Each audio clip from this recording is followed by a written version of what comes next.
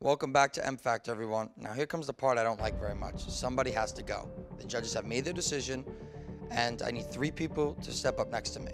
Now, don't shoot the messenger. Sam, can you please step up?